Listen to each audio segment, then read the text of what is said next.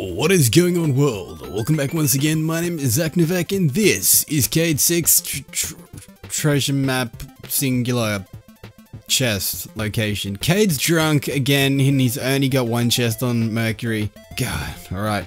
Level trolley intros, let's do it.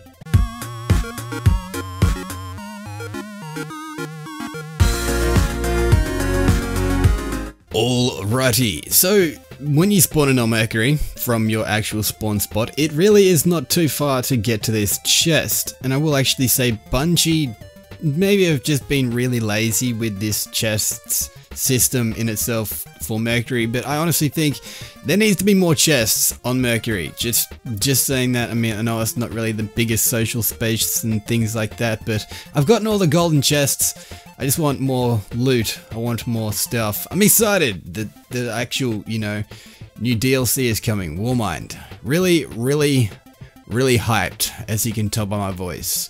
I only say that because my computer has just been really weird.